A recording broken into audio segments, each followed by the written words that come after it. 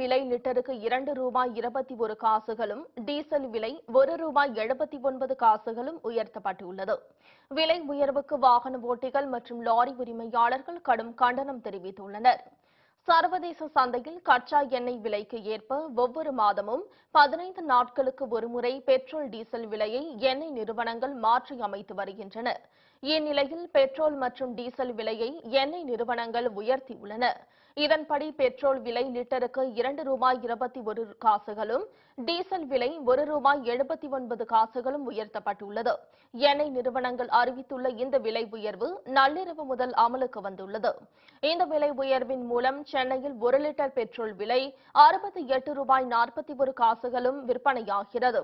அதேபோல் டீசல் விலை ஐம்பத்தி எட்டு ரூபாய் இருபத்தி எட்டு காசுகளுக்கு விற்பனை செய்யப்படுகிறது. மத்திய அரசின் பெட்ரோலிய விலை உயர்வுக்கு வாகன ஓட்டிகள் கடும் எதிர்ப்பு தெரிவித்துள்ளனர். பெட்ரோல் டீசல் விலை உயர்வை உடனடியாக திரும்ப பெற வேண்டும் என லாரி உரிமையாளர்கள் உள்ளிட்ட அனைத்து தரப்பினரும் வலியுறுத்தியுள்ளனா்